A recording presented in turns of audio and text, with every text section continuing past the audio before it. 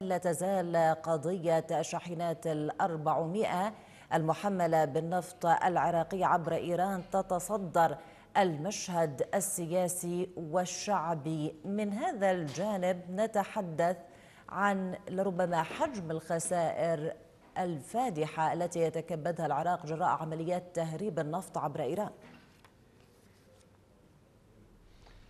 شكرا جزيلا. بالتأكيد إحنا نتحدث عن رقم ليس بالرقم القليل نتحدث عن على الأقل 200 ألف برميل هو عملية تهريب و آه، آه، نهب للنفط العراقي وبيعه بثمن بخس خارج عن سيطرة الحكومة. هذا الموضوع تحدثنا عنه منذ سنوات ومن سنوات طويلة. منافذ التهريب لا تزال متعددة. حتى المنافذ الحدودية التجارية هي الحكومة نفسها تتحدث عن وجود أكثر من 20 منفذ غير رسمي هذا سواء كان في إقليم كردستان أو أو في المنافذ الأخرى. وبالتالي إحنا نتحدث عن هذا الكم الكبير يعني التقديرات إنه أكثر من 1000 إلى 1500 شاحنة هي تنقل النفط بشكل يومي ومستمر.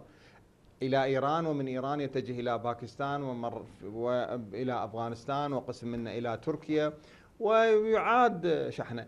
الأمر نبهت عليه منظمة يعني أوبك مرارا نعم. وتكرارا لكن المشكلة إنه العراق لم يصل إلى سقف الإنتاج المطلوب. يعني إحنا نتحدث عن سقف إنتاج مطلوب لحد هذه اللحظة لم يصل إلى هذا السقف حتى ممكن إنه أوبك تتخذ إجراءات عقابية بحق الدول المخالفة. نعم.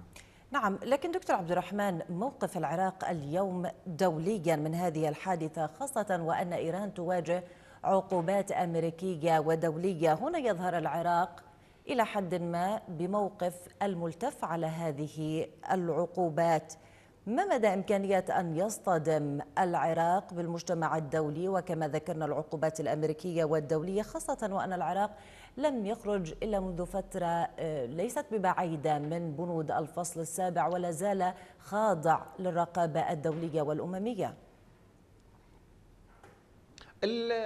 إيران آه، العقوبات المفروضة عليه عقوبات أمريكية وليس دولية لأنه كان يفرض آه، يفترض أن تصدر من مجلس الأمن الدولي. لم يصدر بحق إيران أي عقوبات من مجلس الأمن الدولي ولذلك هي بقت عقوبات أمريكية.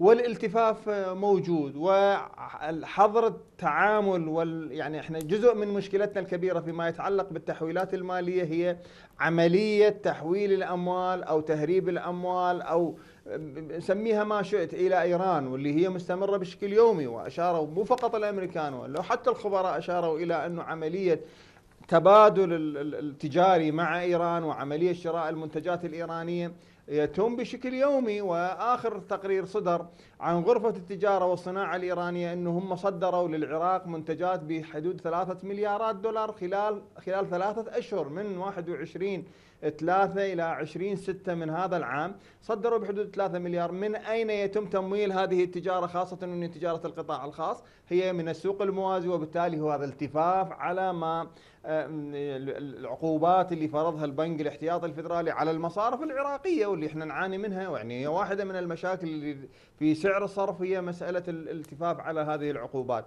فهذا الأمر مستمر. هل سنكون تحت طائلة القانون؟ أنا أعتقد انه هذا الأمر لا يزال بعيد. يعني ربما إذا جاء ترامب ربما تكون هناك عقوبات جديدة أو توجهات جديدة ربما ربما